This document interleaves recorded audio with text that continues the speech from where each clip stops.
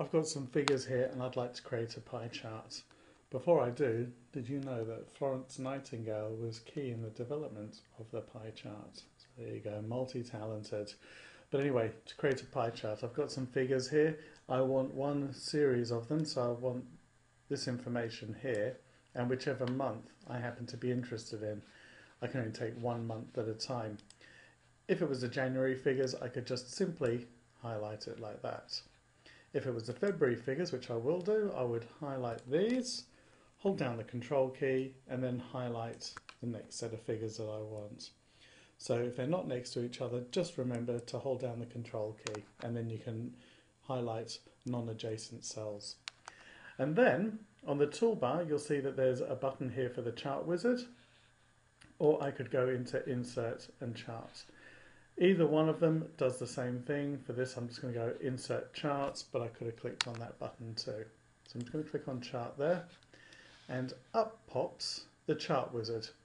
And this is step one of four, and the first thing I need to do is choose which chart type I want. And you'll see there's a few down here, and I'm going to go straight for the pie charts. And then you'll see it's got a subtype here. That's a normal 2D one, and you can see down the bottom here it just says Pie displays a contribution of each value to a total. I can press and hold that to get a look at what it will look like with our figures, just gives me a rough idea. You could choose a 3D one.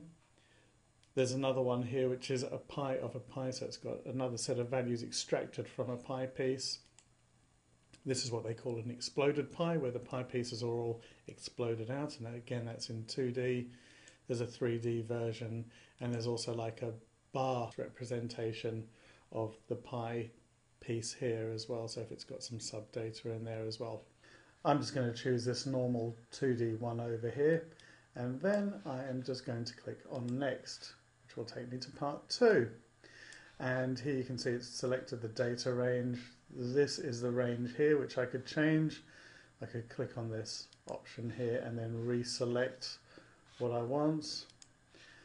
I can see whether it was rows or columns. I happen to know it's in columns because it's going down like that. But just to see what would happen, if I click on rows, you see it doesn't look right. So I'm just going to go back to columns there. There is a tab across the top here that's looking at the data range. I'm looking at can look at series and see which ones I've got in there. You can only have one set of series in here anyway for the pie chart, so we can just leave that alone and I am just going to now click on next. And this is taking me to step three or four of the chart options. In other charts you can fill more things in here but I'm going to put in chart title. I'm going to put in sales for quarter one.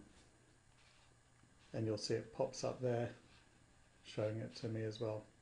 I can choose to have a legend. I've got tabs across the top so I can choose legend. I can say this is your legend here. I can remove it, I can put it back in, and I can also tell it where I want it to go, and you can see it changing there. I'm going to stick with keeping it on the right. Something else I can do at this stage is data labels. These are the labels that go around each pie piece. So if I want to, I can tick on that and it will show me the name of the series going around the outside. I could click on category name. You can see you can choose more than one and you can untick and tick as many as you like. So category name could be useful, but then I wouldn't need the legend here because it's showing me that same information as here. I could see the value. Each one of them is separated by a comma. You can just see them there, but you could choose a space, you could choose a semicolon, you can see them changing. I'm going to go back to a comma or you can put it on a new line actually. So back to commas, you can have the percentages, it'll work those out for you. I'm going to remove the category name, but you can see you can have any combinations you like here. The percentage could be quite useful, so I'm actually going to just keep that in there. I'm going to click on next, takes me to the last part. Do I want it on a new sheet, which will give me a whole new sheet and it will insert a new sheet into Excel or I can put it as an object in. I happen to be on sheet one now, but I could tell it what sheet I want it to go to. And if I'd named the sheet, it would show me the name of that sheet. I'm going to stick with it and put it onto this one here, sheet one. I'm just going to click on finish And here is my pie chart.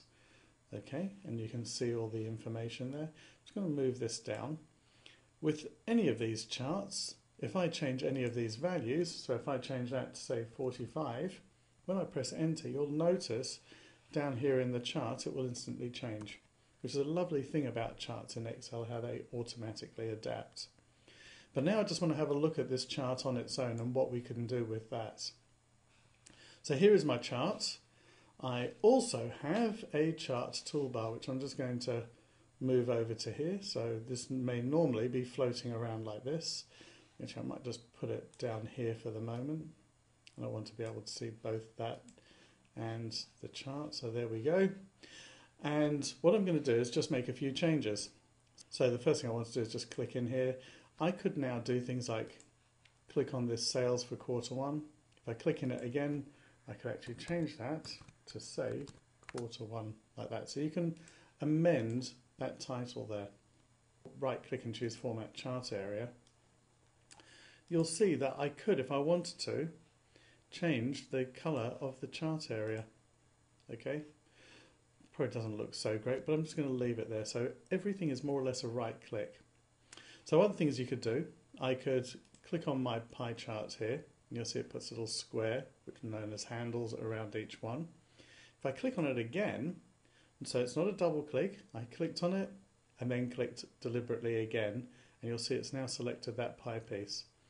I can right click, format data point, it thinks it's a data point, that whole pie piece, and I could choose a different colour. So I'm going to choose red for this one. I'm then going to choose OK, and you'll see it's changed it, and I could go around and change each one. So it's not just the colour that I can change. I could change the pattern. So there's a border, I can change the style of the border around it. I can change the weight of it.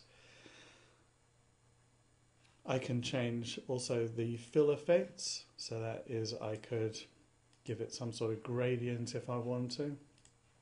So I can give it two colours and so on. You can mess around here and try these out, but at least you know now where these are. And then if I click on OK, you'll see what that has done there to that pie chart. And I could go around and do it for each one of these. So, okay, one of the other things I can do, I can, again, I've clicked off of the pie chart because I'm going to reselect, so I'm going to click on it. And you might remember when we did the chart wizard, there was an option to have an exploded pie chart.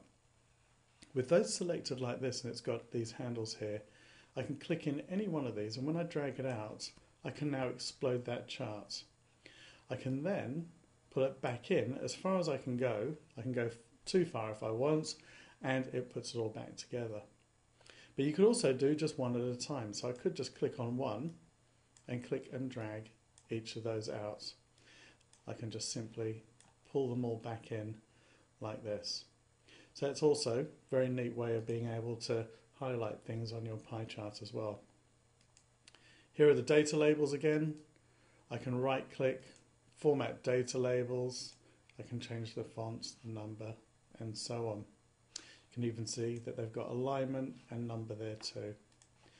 So again, I can just right click, I can choose various things like chart options, I can change my data labels, I could now add in the values and the category name as well.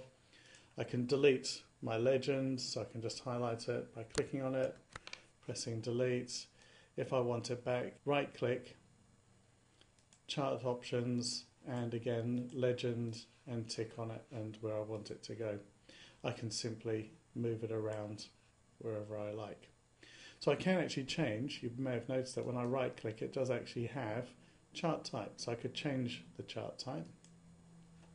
So again right click, up comes the chart type dialog box, very similar to the first step that we had when we actually chose the chart wizard. And I could change this now to a 3D charts. So I just simply click on it. I can now click on OK. And there you go, I now have a 3D chart, which gives me slightly different options.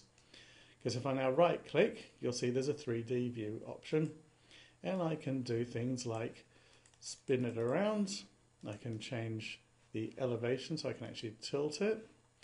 I can change the thickness of it as well. So if I want it to be 50% of this height here, if I now click on apply, you're kind of going to see it in the background, it's going to change. Okay, so maybe I want it a bit more like that. And you can type in these values for the elevation and rotation, and you see that's completely changed. The other way to change it to a different chart type is also to click here, is to click here on the toolbar, and I can go 2D, I can go back to 3D, okay, and it remembers the settings that I've got for each one of those. So that is simply how to create and just alter pie charts.